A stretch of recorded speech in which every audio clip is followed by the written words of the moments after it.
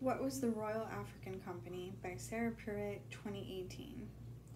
In 1619, some 20 Africans arrived at Jamestown, Virginia, where they were purchased from Dutch privateers to aid in the English colony's lucrative, labor intensive cultivation of tobacco. As profits piled up and slavery spread through the American colonies, the British Crown decided to exert control over the slave trade to the colonies and the wealth it generated.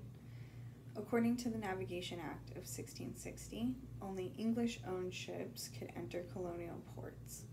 That same year, King Charles II granted a charter to the Company of Royal Adventurers trading to Africa, led by the king's younger brother, James, the Duke of York, later King James II. This group had a monopoly on British trade with West Africa, including gold, silver, and slaves.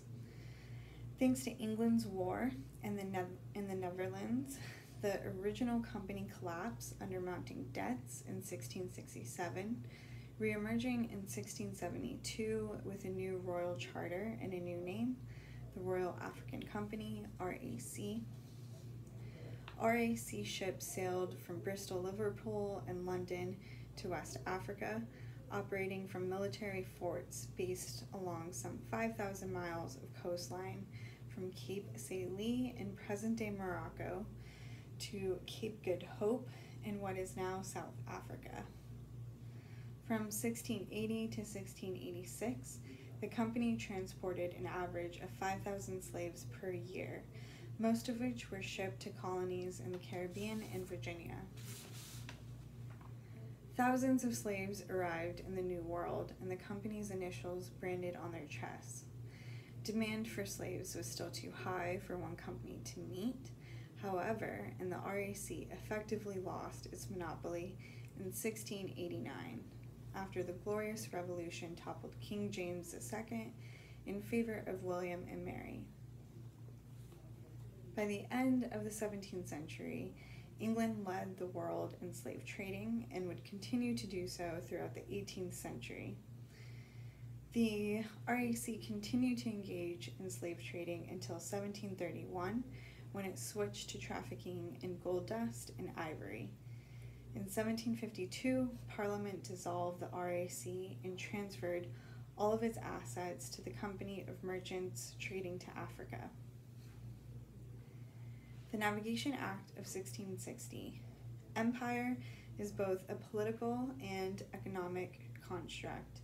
The first British Empire was built upon the concept of mercantilism, that the economic interests of the nation have priority over those of all other groups and areas, and thus the periphery or provinces must profit the mother country. Acting upon such a doctrine, the British government enacted a series of navigation acts over the course of the second half of the 17th century. The first was passed by the Parliament of Oliver Cromwell's Commonwealth in 1651. When the, when the monarchy was restored in 1660, the new Parliament, to ensure the legality as well as continuation of the mercantile system that had been established, renewed the earlier legislation and added to it. The Navigation Act of 1660 further defined how trade among the mother country, colonies, and foreign lands was to be con- conducted.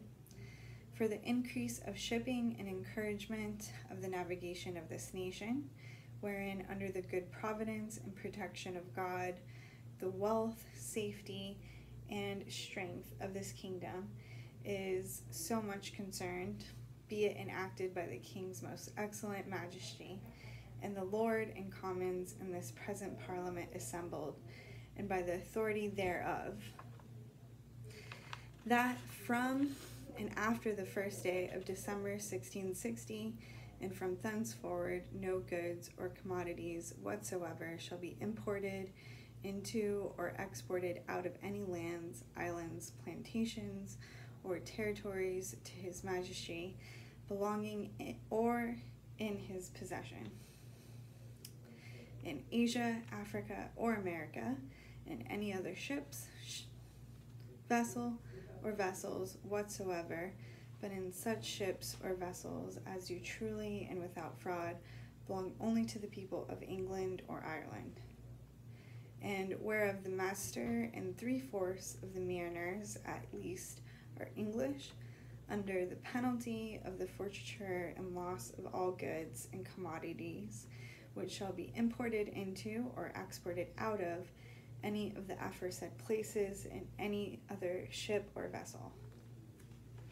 And it be enacted that no alien or person not born within the allegiance of our sovereign Lord the King, his heirs and successors, shall from and after this first day of February 1661 exercise the trade of a merchant or factor in any of the said places upon the pain of forfeiture and loss of all his goods and chattels.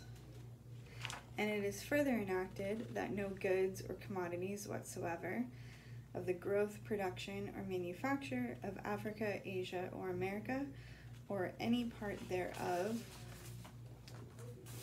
be imported into England, Ireland, or Wales, in any other ship, or ships, vessel, or vessel whatsoever, but in such as do truly and without fraud belong only to the people of England, Ireland, or Wales. And it be further enacted that from and after the first day of April 1661, no sugars, tobacco, cotton, wool, indigos, ginger, fustic, or any other dyeing wood of the growth, production, or manufacture of any English plantations in America, Asia, or Africa shall be shipped, carried, conveyed, or transported from any of the said English plantations to any land other than to such English English plantations as do belong to his majesty.